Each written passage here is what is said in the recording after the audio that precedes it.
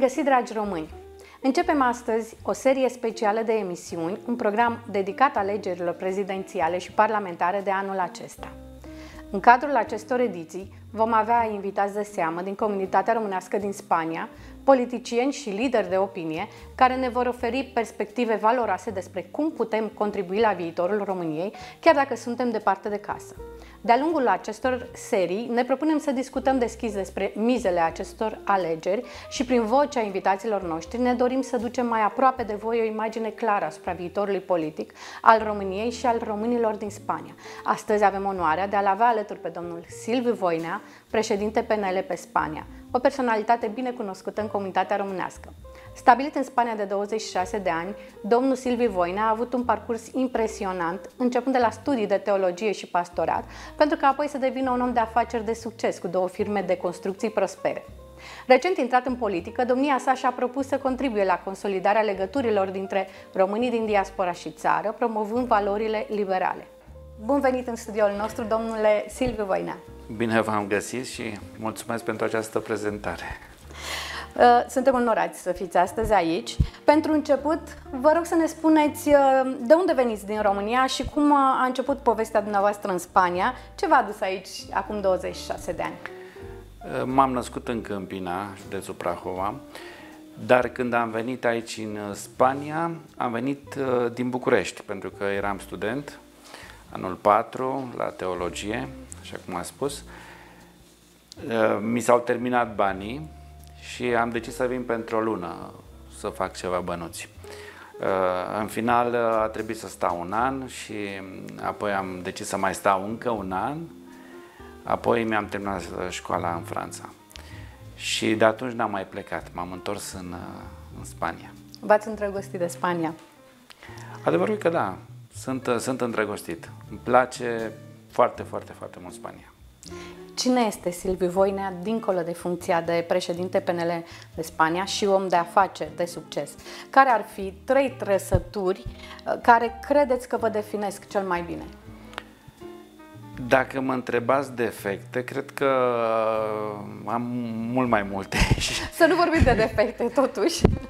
Eu trei nu știu, dar unul pot să-l spun și îl spun pentru că mi l-au remarcat alții. Am spus, Silviu, tu ce-ți propui, Uh, văd că aduci la îndeplinire. Eu cred că consecvența cu ceea ce mi-am propus, dacă vreau să realizez ceva, uh, e imposibil să nu ajung acolo. Important e să vreau. Și apropo de politică, ăsta este un atu extraordinar de mare, pentru că, așa cum știm, în politică greu găsim oameni care să se țină de cuvânt. Dumneavoastră, de ce v-ați băgat în politică? Nu e mai bine să nu facem politică? Da, eu nu pot să spun că m-am băgat în politică și că fac politică. Eu sunt om de afaceri. Eu am un business aici în Spania, așa cum poate mulți știu. Am un, chiar aici în Coslada, un uh, Big Mat, un în Torrejon, uh, un showroom în uh, Madrid la care lucrăm. Îmi plac afacerile și iubesc uh, partidele care ajută uh, economia. Uh, poate că pentru acest motiv m-am uh, atașat mai mult de un partid de dreapta, cum este Partidul Popular și în cazul nostru al românilor de Partidul Național Liberal. Acum că se apropie alegerile, motiv pentru care și noi facem această emisiune, vrem să aducem în prim plan uh, politicienii și cei care propun uh, uh, anumite schimbări pentru, pentru români. Ce le-ați spune românilor de ce să voteze? Pentru că sunt români care spun, domnule, de ce să mai merg la vot, să mai pierd timpul? Pentru că oricum nu se schimbă nimic în ultimul uh, timp. Uh, de fiecare dată când se schimbă ceva, practic tot acolo ajungem. Ce le-ați spune oamenilor? De ce să meargă la vot? Aveți dreptate. Eu m-am întâlnit cu foarte mulți care spun nu fac politică, nu mai îmi trimite mesaje că nu, nu, nu mă bag în politică, nu mă interesează. Iar alții cu care discut, cu care vorbesc și îmi spun uh, că nu mai cred că votul nostru contează. Deci aveți perfectă dreptate. Oameni care cred în conspirații, indiferent ce votăm, e important cine numără voturile, nu cine votează. Eu nu, nu sunt de acord cu, cu aceste idei. Uh, de exemplu, cu cei care nu votează. Dacă nu mergem la vot, uh, indirect votăm. Uh, dacă am un candidat pe care eu n-aș vrea să iasă acolo, mă trezesc că va ieși. Pentru că eu nu am fost să votez pe, pe altul mai bun, care eu aș fi crezut, care aș fi vrut să iasă. Deci asta ar fi un motiv. Iar de ce să votăm? Eu cred că pe noi ne afectează. Pe mine cel puțin m-a afectat în afacerile pe care le fac. Ce să vă spun, nu, nu e ușor să iei un uh, business de la zero. Deci acum aproape 20 de ani când am început uh, afacerea cu materiale de construcții. Uh, vreau să spun că la început eu am fost foarte generos cu muncitorii. Pentru că gândeam că un muncitor trebuie să câștige mult, pentru că are nevoie de bani. Și am dat salarii mari, am dat... Uh, chiar eu am avut impresia că dacă ai un business, câștigi foarte mult. Cred că atunci puneam bani din buzunar, puneam bani, dar eu aveam impresia că dacă ai un business, câștigi. Și că niciodată nu făceam socoteala la cheltuielile care le ai.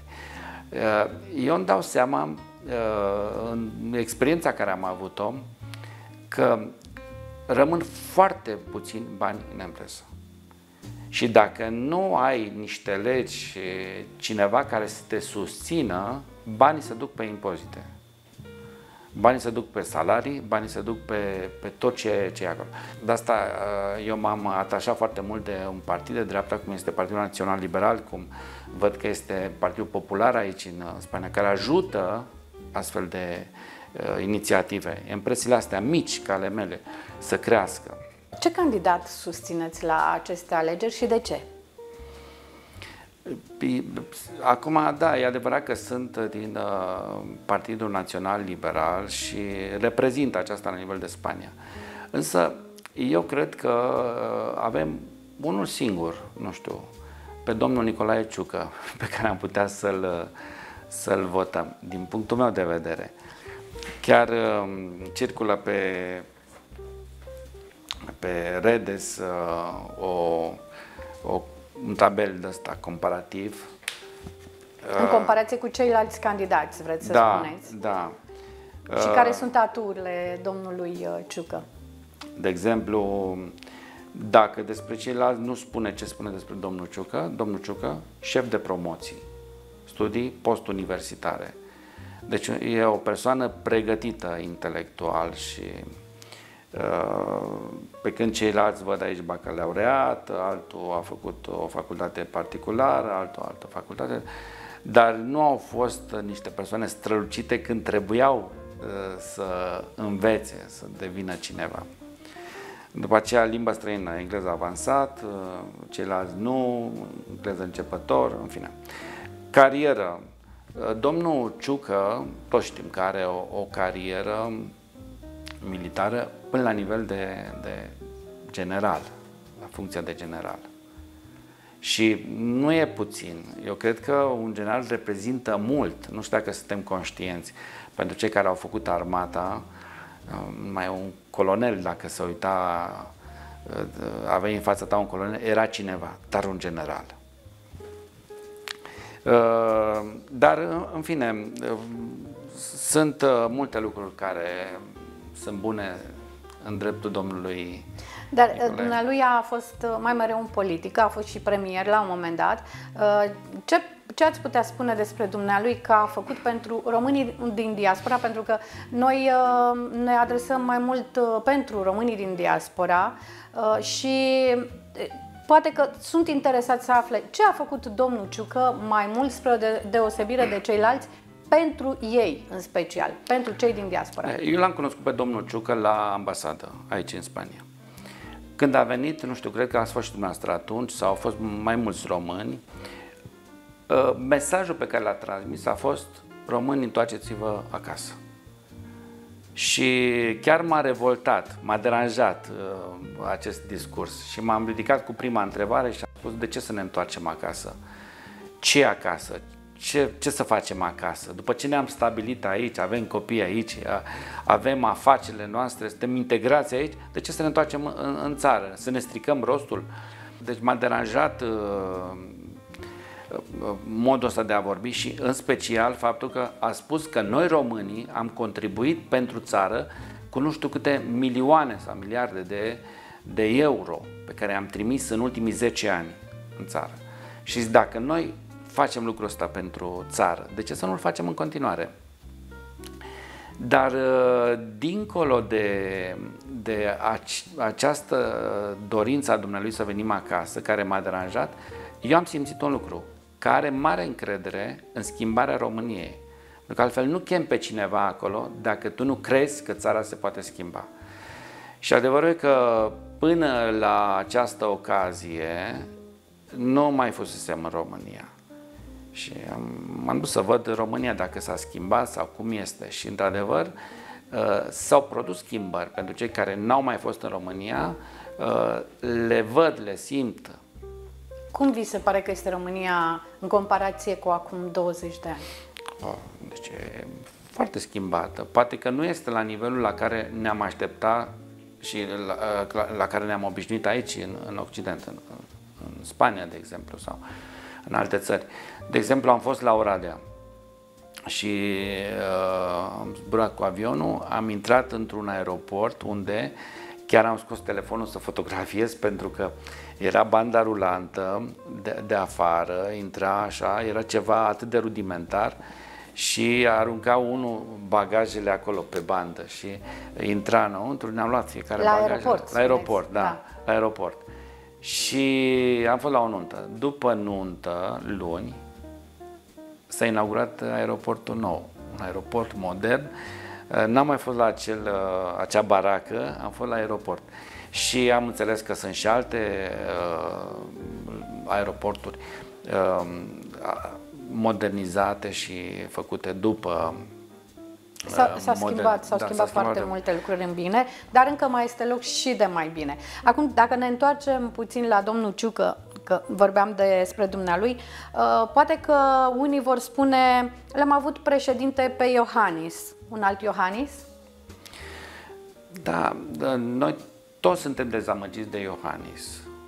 Și pot să spun că și eu, pentru că n-am văzut, uh, nu am văzut.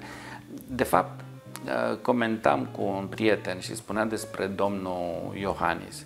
Ce Silviu, gândește că noi românii am fost obișnuiți cu Traian Băsescu care Traian Băsescu, una, două era la camera, la televiziune și una, două vorbea și ieșea în piață și spunea și uh, Iohannis n-a fost așa. Și noi, dacă nu l-am mai văzut pe președinte, cum era Traian Băsescu, a spus că nu avem președinte și că nu face nimic. Probabil că și Iohannis a făcut uh, multe lucruri pentru politica externă, pentru imaginea României uh, în lume, lucruri pe care noi nu le-am văzut și nu le-am uh, uh, diferențiat, nu le-am apuntat undeva. Însă eu cred că e mare diferență între domnul Ciucă și domnul Iohannis. Uh, eu am câțiva frați, dar suntem toți diferiți. Suntem din aceiași părinți, dar suntem foarte diferiți. Dumnealor nu sunt nici frați și nu sunt, sunt doar cu, uh, poate din același partid, dar uh, e o mare diferență. Și, în primul rând, vă spuneam de domnul Ciucă că a venit aici la, la Madrid, la ambasadă. A venit de câteva ori în primul rând a venit uh, la Castellon și atunci știu că spuneați ce a făcut pentru noi. Da, l-a interesat uh, dubla cetățenie.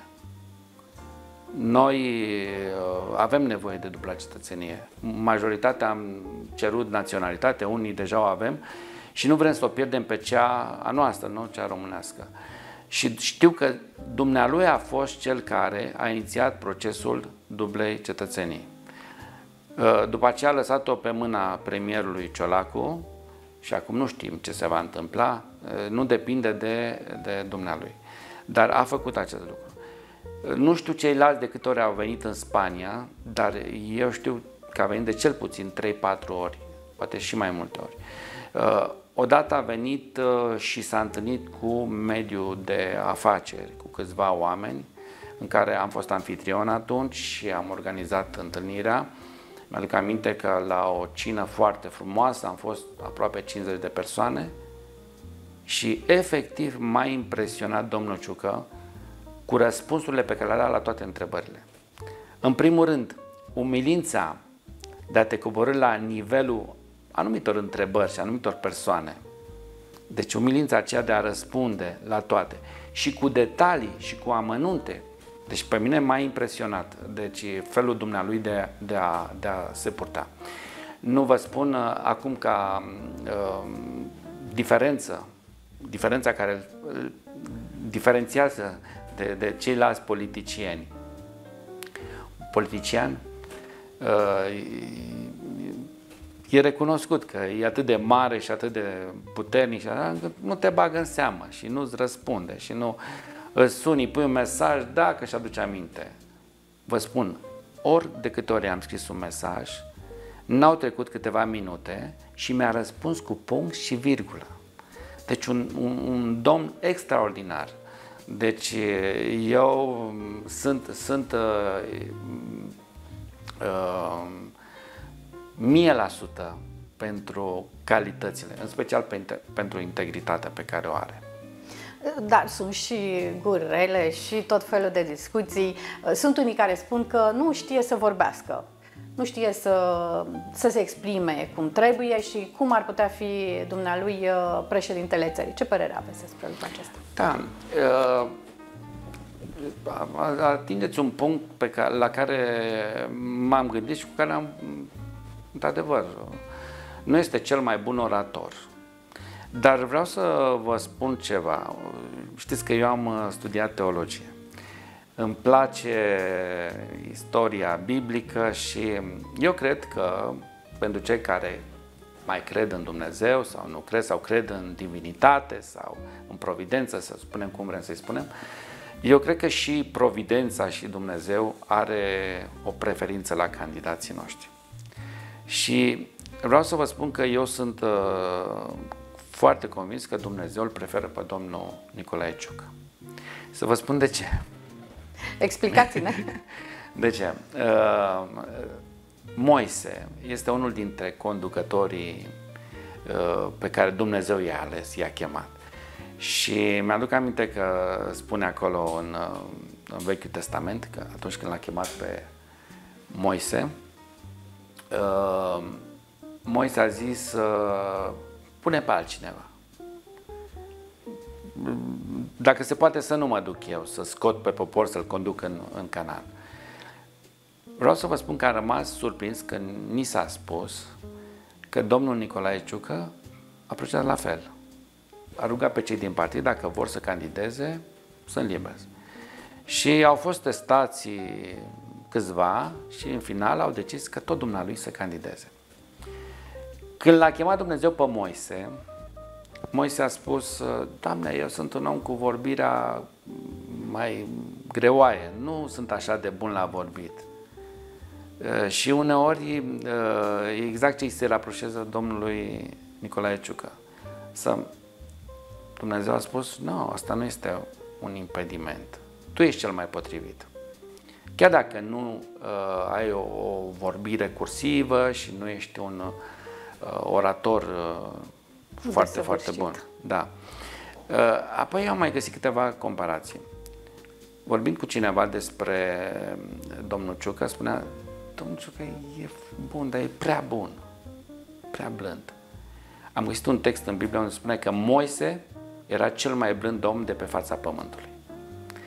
Și apoi, într-adevăr, ne legăm de discursul domnului Nicolae Ciucă, care nu e chiar așa cum era lui Moise. Însă Moise a scris Pentateucul, legea. Dumnezeu prin el a dat legea. Și vreau să spun că domnul Nicolae Ciucă are scrisă legea în genele dumnealui, în ADN. E un om corect. Nu a fost și n-a avut nimeni, n-a putut să-l acuze cineva. Este un om integru, are legea înscrisă. Afară de faptul că Moise era pregătit militar, avea cea mai înaltă pregătire militară și doamna Ciucă știm foarte bine că în general. Și că ați găsit Dar am găsit o asemănare de asta permis să spun că Dumnezeu cred că l-ar prefera, cum îl prefer și eu pe, pe domnul Ciucă. Să dea Dumnezeu și să fie alegerea cea bună. Acum să vorbim așa în general despre politicieni. Credeți că moralitatea joacă un rol important în uh, politică și odată intrat în politică este greu să-ți păstrezi valorile morale? Da, eu cred că una dintre valori este uh, să spui adevărul. Dacă nu poți să faci ceva, mai bine spune nu pot să fac, nu să minți. Când ne-am întâlnit uh, cei din diaspora, din biroul județean, ni s-a spus ca să pregătim o, o listă de promisiuni electorale. Iar eu atunci am spus că înainte ca să facem această listă cu promisiuni, haideți să dăm niște răspunsuri, să plătim la promisiunile care le-am făcut în, în uh, ocaziile anterioare. Eu cred că dacă nu poți să faci ceva, nu mai promite. Sau dacă promiți ceva, ține-te de cuvânt. Nu mai vorbim despre alte valori, de exemplu, valorile tradiționale creștine. De exemplu, familia. Domnul Nicolae Ciucă a spus foarte clar. Pentru mine familia înseamnă mamă și tată. Eu, eu personal uh, sunt foarte, foarte de acord cu Adică nu sunt împotriva a două persoane uh, care sunt de același sex să stea împreună. Foarte bine dacă vor să stea, dar nu numi familie. Nu, nu sunt o familie. Poți să spui că e o pereche, poți să spui că e un cuplu, e un... dar nu este o familie. Familia înseamnă tată și mamă. Și mă bucur foarte mult că domnul Nicolae Ciucă are aceste valori. Um, eu afară, aparte de, așa cum am spus și am subliniat, integritate. Uh, dacă ajungi acolo, nu o să faci compromis pentru că uh, nu are cine să te acuze și de ce să te acuze. Este important și pentru viitorul copiilor noștri, pentru viitorul României să fie crescuți într-o mentalitate sănătoasă, să spunem. Uh, și familia, cred că este face parte din acea mentalitate sănătoasă, așa cum spuneați. Dar am observat în ultimul timp mulți politicieni se folosesc uh, poate da, poate nu, asta vreau să vă întreb pe dumneavoastră, uh, de religie ca un instrument electoral. Credeți că sunt autentici politicienii în momentul în care merg la biserică foarte des, uh, mai ales la um, sărbătorile foarte mari, sau uh, merg să-și atragă voturi, uh, sau sunt autentici în acțiunea asta lor? Sincer, fiecare așa cum este. Deci eu cred că în momentul în care ești ipocrit, nu faci anumit lucru sau faci anumit lucru, dar atunci nu-l faci sau te duci special acolo pentru voturi, eu cred că asta înseamnă ipocrizie și Uh, nu știu, m-am întâlnit cu un demnitar sau nu știu cu cine să spun, nu vreau să-i dau numele, dar uh, ne-am pus la o masă și uh, uh, erau acolo și câțiva pastori neoprotestanți care nu consumă alcool. Și toți au, uh, când a întrebat chelnerul dacă dorim un pahar de vin, uh, ceilalți au zis nu și domnul acela care știu că consumă și nu are nicio problemă să consume alcool, a zis că nu. Mi se pare că atunci când faci anumite lucruri sau când te duci la biserici și faci anumite lucruri pe care nu le faci, doar ca să consider că e, e, e ceva fals. Domnul Ciucă nu este așa.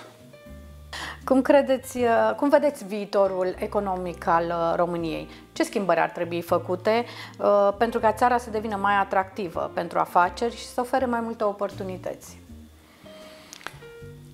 Eu cred că mm, domnul Nicolae Ciuc a demonstrat cât a fost premier că dacă va forma un guvern de dreapta, pentru că Asta este adevărul.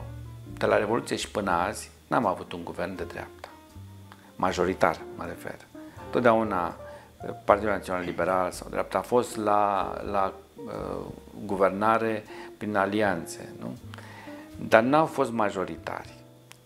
Eu cred că dacă va, vom avea un guvern de dreapta, uh, se va întâmpla ce s-a întâmplat cât a fost domnul Ciucă premier.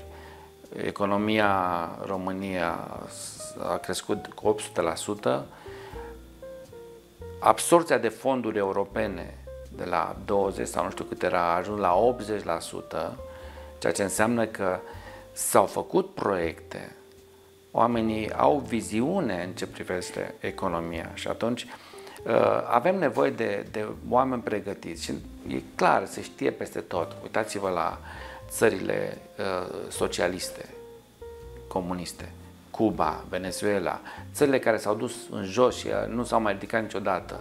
Noi de unde venim? Tot de acolo venim. Dar nu ne învățăm minte ca să, să schimbăm, să, să ne ducem un pic mai mult pe, către dreapta. Nu, nu prea mult, dar acolo unde... Nici în extremă. Nici în extremă, da. Să ajungem acolo unde să, să se încurajeze uh, afacerile mijlocii, nu? Sau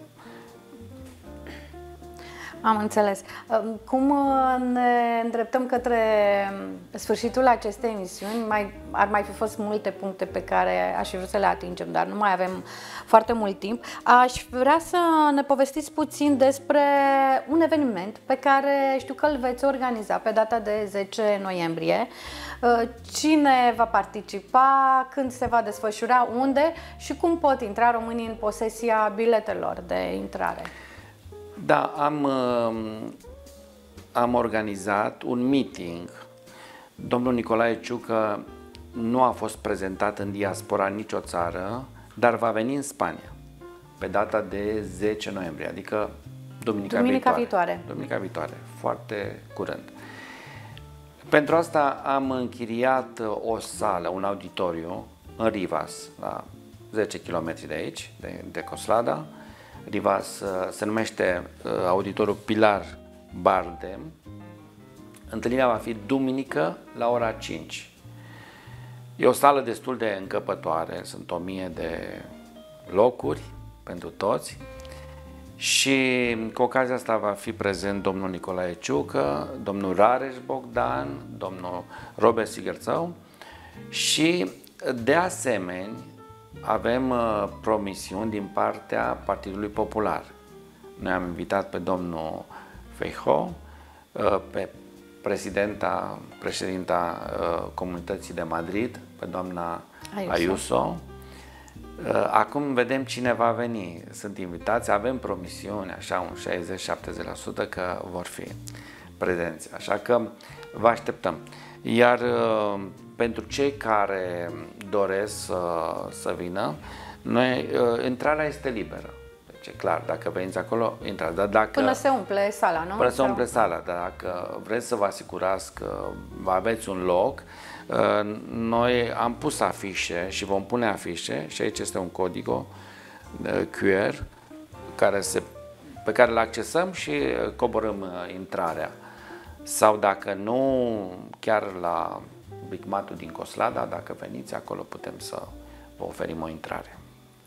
Ce le-ați uh, transmite românilor acum înainte de, de aceste alegeri atât de importante? Eu cred că fiecare ar trebui să meargă la vot, primul rând. Și acolo, așa cum le spune conștiința, așa cum și-ar dori să aibă, să, să fie țara noastră, pentru că, în final, uh, eu cred că ne iubim țara, chiar dacă suntem aici, chiar dacă nu ne vom întoarce niciodată. Singurul lucru pe care putem să-l facem este să, să facem ceva pentru țară și să votăm așa cum ne spune conștiința noastră. Eu să-l votez pe domnul Nicolae Ciucă, pentru că așa îmi spune conștiința. Însă fiecare să meargă să voteze așa cum crede dar important este să meargă la vot. Da, nu? e Să-și foarte... exprime dorința electorală. Da, politică. mulți spun, da, ce a făcut țara pentru mine? Dar tu ce ai făcut pentru țară? Că până la urmă chiar atât de greu este să mergi să pui un vot acolo. sunt câteva minute sau câteva, o jumătate de oră, o oră sau de unde te deplasezi de acasă.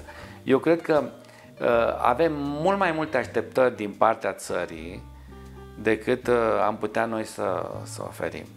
Așa că vă invit să mergeți la vot și să votați ce trebuie.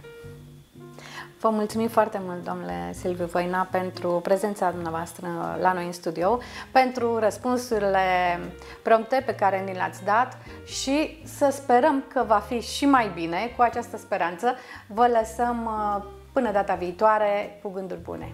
Mai bine!